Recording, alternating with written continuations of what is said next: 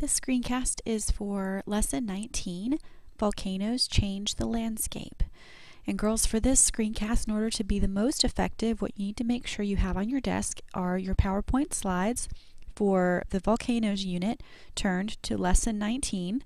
You also need to have your textbook out on your desk, and that needs to be turned to Lesson 19 as well, which begins on page 210. The objectives for this lesson include brainstorming what you know and want to learn about magma and lava, modeling the movement of molten rock through fractures in the lithosphere over the Earth's surface and underwater, devising working definitions for the words magma and lava, and identifying in photographs some landforms created by molten rock. I'm also going to give you some background information about molten rock and about melting and how rocks melt first before we talk about um, how volcanoes can change the landscape. So the first thing we need to understand is that all substances can be classified in one of three phases of matter, solid, liquid, or gas. And this should be review because you probably remember that from lower school. But a substance can change phase, and we use this term changing phase. Let's see if I can use my pen to highlight this. Here we go.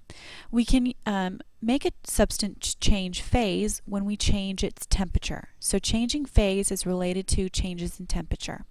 For example, freezing is the change in phase of a substance from a liquid to a solid. So think about water, and when water is at room temperature, it's a liquid. When we freeze it, it becomes a solid. Melting is exactly the opposite. It is when we change from a solid back to a liquid. Therefore, melting point is the temperature at which a particular substance begins to melt. So how does rock melt? Well, we don't normally think about rocks melting because they're very, very hard, but they really can melt and they melt in a very special way.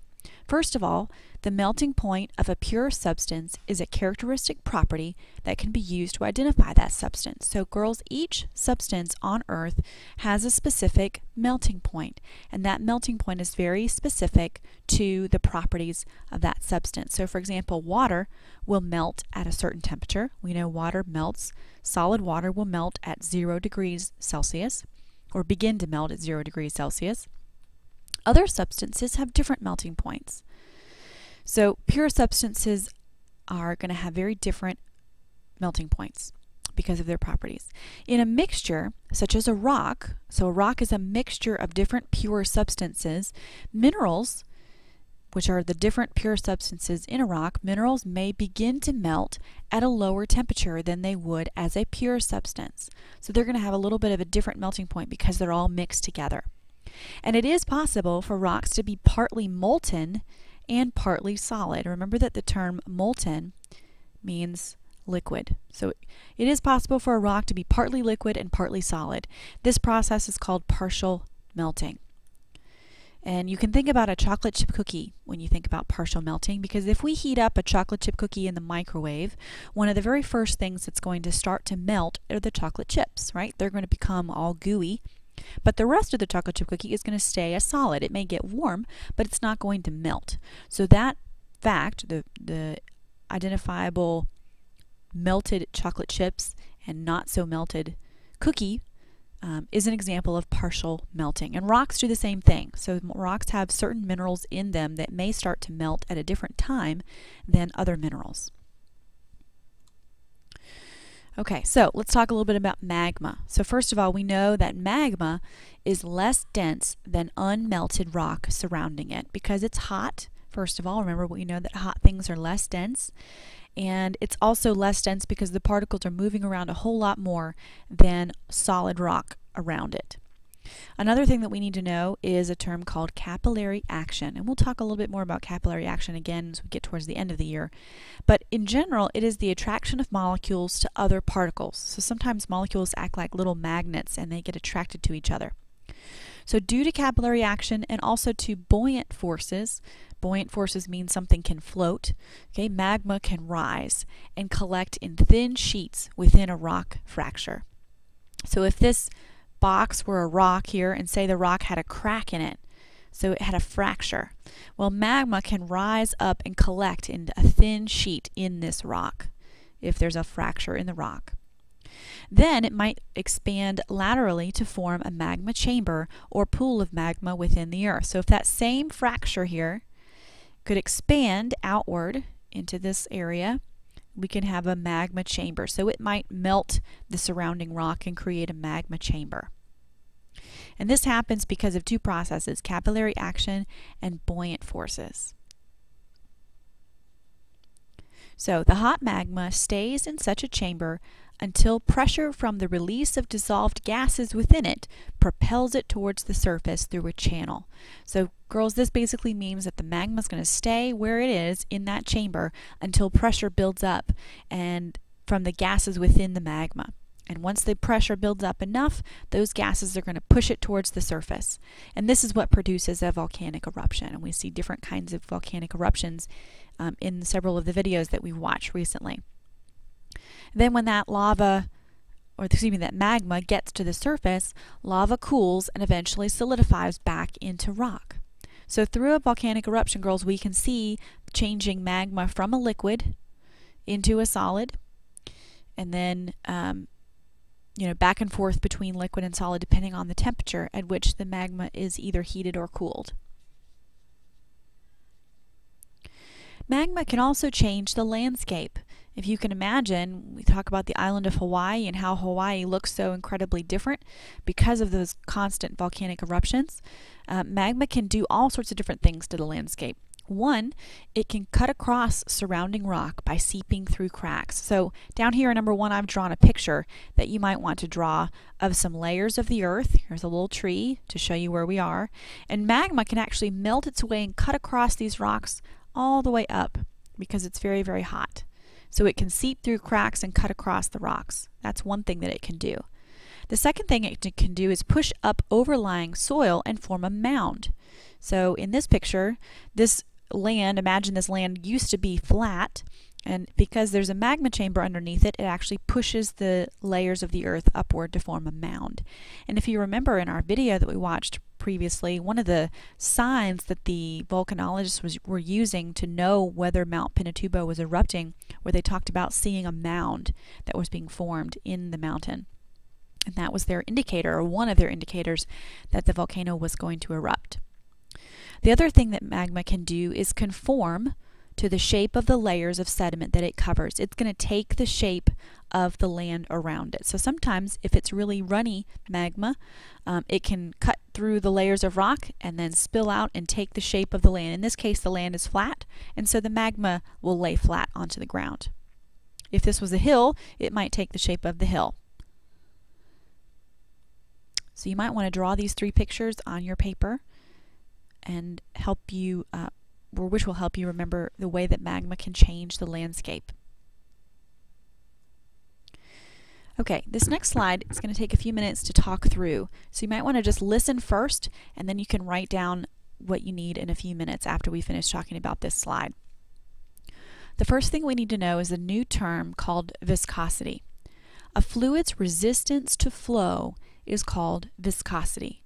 So depending on how something flows, it can have a high viscosity or a low viscosity.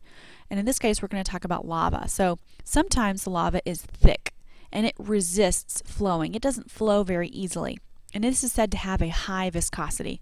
Other things that have a high viscosity are things like toothpaste and honey. Uh, they are really thick and gooey and they're going to move really, really slowly. Other times the lava is runny and does not resist flowing, and it's said to have a very low viscosity. Water has a very low viscosity. And I bet you can also think about some other substances that have a high viscosity and a low viscosity. Thick viscous lava the, the thick stuff that emerges from, emerges from a volcano um, will form a lava dome. And the lava dome usually grows over time as more magma continually adds to its shape. Because this lava doesn't want to run all over the place, it's going to make this big bubble. And we call that big bubble a lava dome. When the lava is thin and runny, it's going to come out in a different way. It's going to form a lava flow. And this is where you see those videos of those rivers of fast moving lava. These are lava flows. They move quickly out of the vent and across the Earth's surface. So different types of lava can affect the type of volcano that we have and the type of eruption that we have. So girls, you need to be familiar with the term viscosity. All right, also, you need to know that we have a formation called a caldera. Sometimes large amounts of magma erupt from a shallow underground magma reservoir, resulting in a loss of structural support for the overlying rock. And I want you to take a look at this picture that I've drawn, and I'll slide this over so you can see the whole thing. If this was our volcano, and we had a very shallow magma chamber here that was really close to the top of the volcano, once this volcano erupts, there's nothing left up here to hold the top of this volcano in place. So once all the magma is gone, this thing kind of falls back in on itself and creates uh, a collapsed area. So if the ground collapses, the result is a large, steep-sided, circular or oval volcanic depression called a caldera. And that's one of your vocabulary terms. So calderas are kind of like a large crater but they're different from a crater because craters are smaller circular depressions created primarily by exploding rock during eruptions. This is created because of magma that has erupted out of the chamber and now there's nothing else holding these, this rock in place, so it sinks down. So you might want to draw this picture as well on your paper to remind you of how a caldera can be formed. All right, types of lava. As lava flows out of a volcano, its surface cools quickly and forms a skin, which is wrinkled by the hot lava still flowing beneath it. And you can see a picture of the volcano, uh, excuse me, the lava forming a skin when it cools on page 220. If you turn really quickly to page 220, if you see figure 19.11, there's that hot skin on top of that lava and it says some lava cools to form a skin of black basalt rock that is wrinkled by the hot lava still flowing under it. It has a smooth, ropey texture and it's typical of the lava flow in Hawaii. Girls, this kind of uh, uh, lava you oftentimes might see modeled if you ever um, make queso for your chips and you heat it up in the microwave Think about like Velveeta cheese in the microwave, and then say you take it out of the microwave and let it sit on the table, and you ever go to stick your chip in there, and there's that skin on top of the cheese because the cheese is cooled on the top, but it's still hot underneath. That's what we're talking about here. Okay, so it can form a skin with hot lava flowing beneath it. And in Hawaii, this skin, this runny lava that cools on the top, is called pahoehoe lava. And I'll show you a picture in a second. Pahoehoe. It's a Hawaiian term. Another type of lava that's less fluid is called A'a lava. And it's just two letters, AA, and it's pronounced A'a. Again, another Hawaiian term. And A'a lava is a lava flow with a surface of rough angular blocks and fragments. This lava does not flow very easily. And I'll show you a picture here in a second. There we go. So you can see here the ropey skin that's cooled on this surface, but you can tell it's still very, very hot underneath. It's setting fire to the pavement back here. And let's see, let me get back to my arrow. Here we go. So this is pahoehoe. It flows very easily. The other type of lava here, you can see it's not flowing very easily. All these little chunks and bits. This is A'a lava, so we call it chunky lava. It's much uh, higher viscosity. It's not going to flow very easily.